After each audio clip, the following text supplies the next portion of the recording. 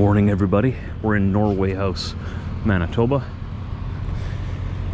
Cree Nation Reserve. And we're taking this portable office trailer down to Stonewall, Manitoba.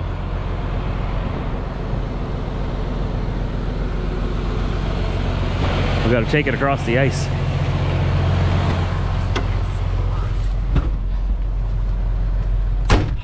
So there's a half kilometer uh, section of ice that's usually in the summertime you go across on a ferry. It's just a river that goes through here. It's not that big a deal, but uh, the first time I've ever driven on an ice road was in yesterday's vlog. That was coming into Norway House. The only way to get here is across the water. And in wintertime you can drive across the water. In summertime you gotta take the boat. But it's wintertime. So this will be my first time driving across the ice with a loaded trailer. This is an office trailer, so it's pretty heavy. Uh, we'll see what happens. The ice is very thick. I'm not expecting anything exciting to happen, but just the fact that I am driving over the water with a loaded truck and trailer is kind of exciting to me. It's, it's a first for everything. I've, I've lived in Manitoba my whole life, and there's ice roads all over the place up in northern Manitoba, and I've never gone on one until today. I've never even driven out onto the ice to do to do ice fishing or anything like that. Never had a vehicle on frozen water until yesterday, and now it's gonna. You get it. I'm excited. Let's see what happens. I hope I don't fall through. Kistapenanik Kistapenanik Mall. Did I say that right? I stopped in there just to make sure everything was uh, good to go. Check my load, check the trailer. Now we need to go that way. They got a traffic light. Good for them. You know, Blumenort got a traffic light last year too. Oh, Manitoba, we're going places. We don't quite know where, but we're going places. Got traffic lights now. All right, let's go. Let's go towards the ice road.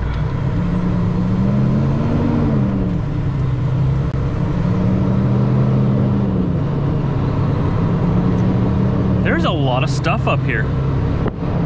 Like, I know I said it in yesterday's video, but this is the furthest north I've ever been in my own province. And we're only maybe halfway up to our border with Nunavut.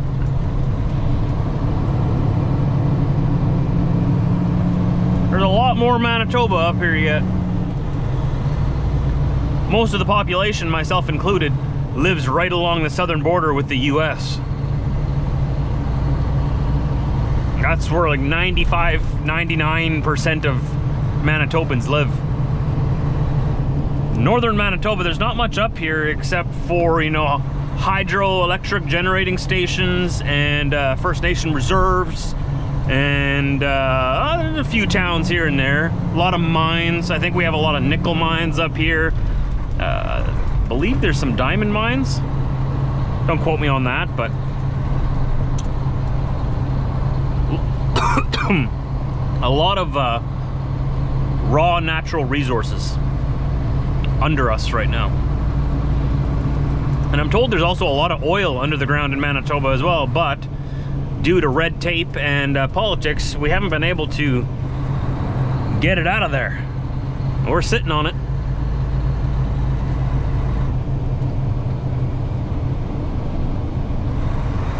This is a lot bigger of a community than I thought it would be up here.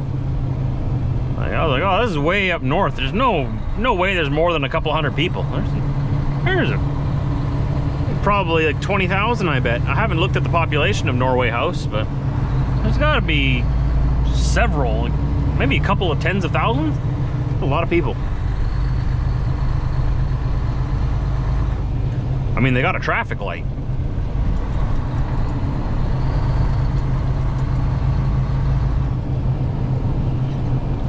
In summertime, I bet this place is just gorgeous. It's beautiful. Right on the lake. Imagine the fishing here. We're coming up to the ice crossing again. Going the other way that we were uh, in yesterday's video.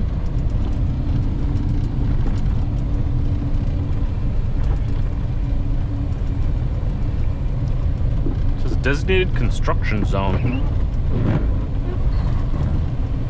I didn't see any construction here before. Maybe they're just talking about the detour because you sort of got to go around onto the ice here.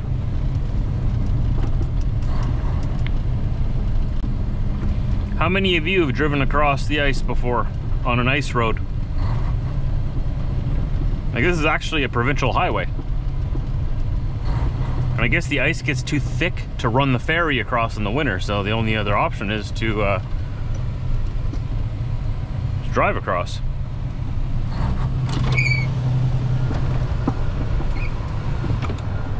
So it says it's open. The max weight is uh, 39,000. I'll go to stop here, eh? Say there. Uh, 39,500 kilograms. Here we go. Out onto the river.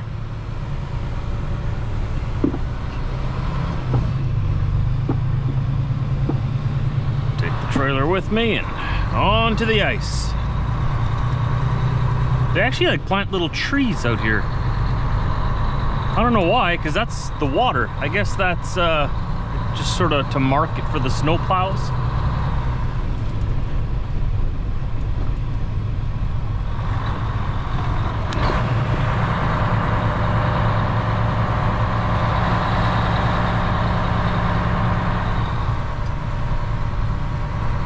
Don't even hear any cracking. That's a good sign.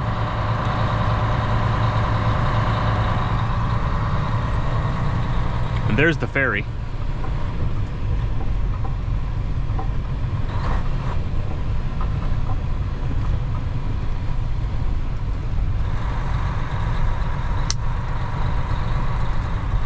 Oh, looks like they're pulling it out of the water there. Interesting. Better take a little bit of a running start here.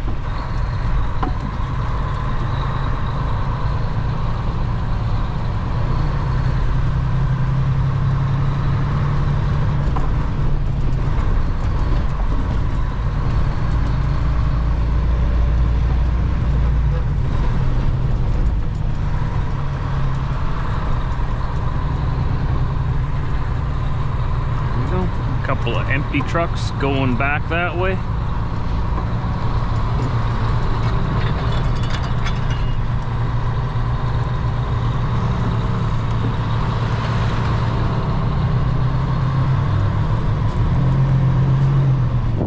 We didn't fall through. It's a good day.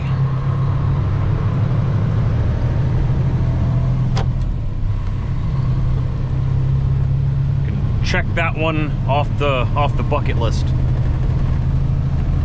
It's a short ice road, but it's still an ice road. It still counts. This is the Nelson River channel, generating station or hydroelectric station.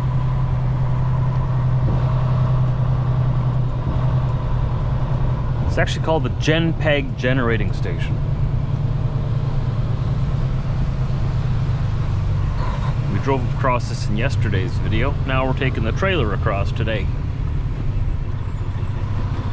A little bit of a narrow bridge through here, but there's not much traffic to worry about.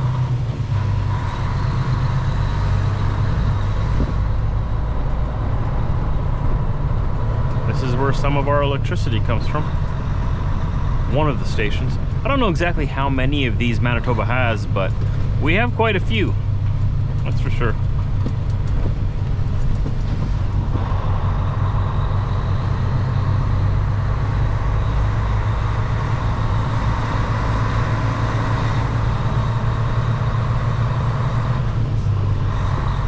Looks like there's like a big resort or a lodge or something up there.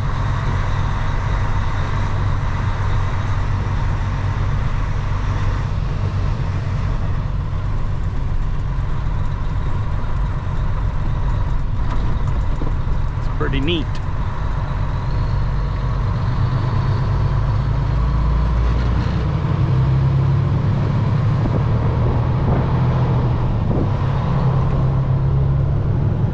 Oh, and Jenpeg is that way. I guess Jenpeg is a town. That would make sense. not just a generating station.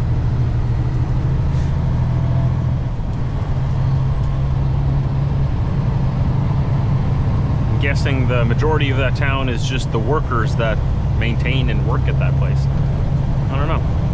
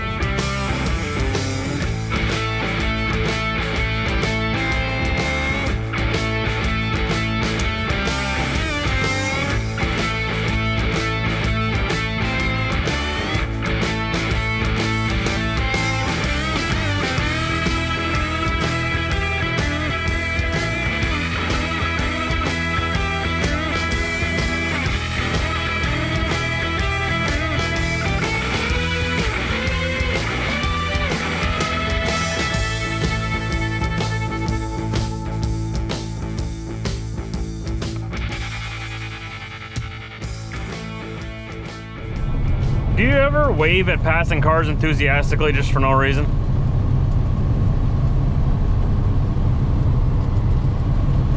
Just to see what they do, see if they wave back? I mean, I could do better than that.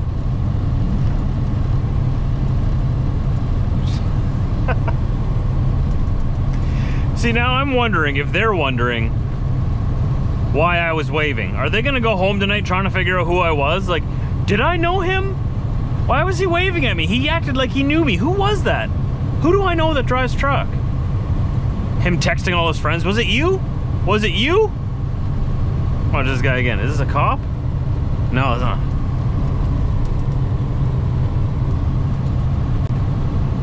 Didn't even notice. Didn't look at me. I don't know. Things you do when you get bored on the highway. Sometimes I like to make funny faces at people as they pass by. Another accident scene coming up ahead here. It's been signs for about a mile already. And here's the flashing lights. I don't see any police here though. It looks like just tow trucks. So I guess it, uh, guess it isn't too serious. I see this guy's holding up a little stop sign for me here now. They're gonna let the other side through first.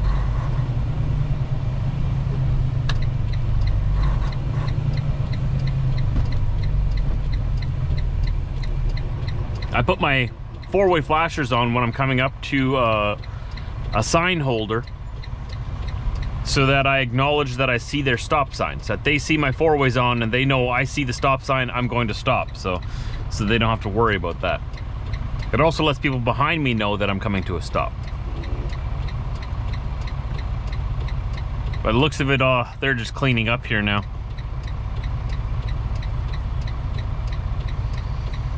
See that guy cleaning up the cones there? I wonder what happened, because I came up here yesterday and there was uh, nothing going on then.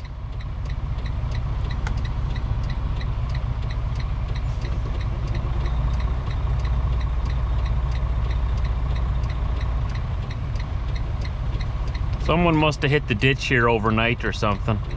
The roads were good. They weren't slippery and they didn't get any snow, so I wonder what happened.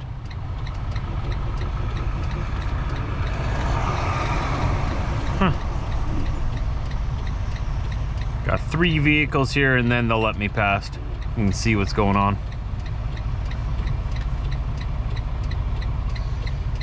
People behind me have stopped so I can turn my four ways off so I don't have that annoying clicking.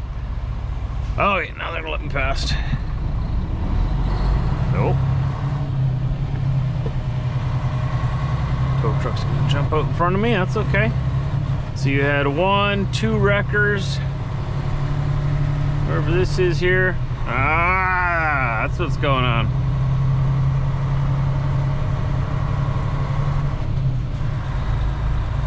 I know what's wrong with it. I ain't got no gas in it. Yikes, quite the operation to get him pulled out of there. Whew. I don't even want to know what that bill was. Yikes.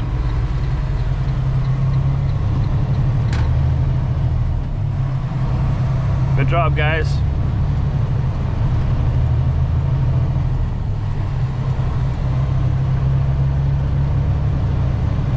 For those of you who aren't in trucking and don't know the costs of things in the industry, I'm gonna give you a roundabout ballpark number and people can correct me in the comment section if I'm way off. But I'm gonna go ahead and say that that rescue operation there, pulling that truck out with all those wreckers, probably ran that guy and his company, I'm gonna say five to eight thousand dollars. Am I way off? Somebody who runs a wrecking company or tow truck driver, comment down below and let me know. There was what, two wreckers? A bunch of other material stuff there. I'm gonna say around $5,000. Maybe eight, five to eight. Maybe I'm way off, I don't know. The same tow truck in front of me from before now put his four ways on as we're coming up to this construction zone. I'm wondering if he's planning on stopping in and saying hello here or why is because there was plenty of signs along the side of the road notifying everybody behind him that we're slowing down. There was no need to because if you put your hazards on like that I'm assuming you're coming to a complete stop. No he just turned them off. He was just slowing down. He was just obeying the posted speed limit signs. Okay. Well there's no need to put your four ways on then. It confused me but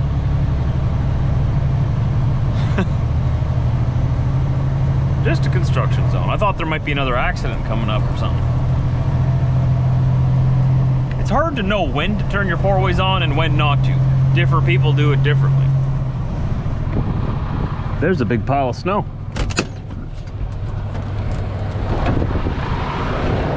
There's another big pile of snow. Together they're a really big pile of snow. So here's my trailer. I dropped it where they need it. That is stonewall right over there. You can see the sign is right there. It says stonewall. That's how you know i'm not lying to you. It's a wall of stone. Stonewall. I got this trailer here for them. They're gonna set it all up here tomorrow. And i'm headed back up to norway house again tomorrow to grab another one except the other one like this i'm bringing to selkirk instead of here to stonewall. It's just a little further that way down the road so that'll take up my next two days and the rest of my week. Tomorrow's Thursday. The whole day will be us just bobtailing back up to Norway House. And then Friday will be the whole day us coming back down with another one of these. And that'll be that. There's some rocks over there. I wonder if that was once the stone wall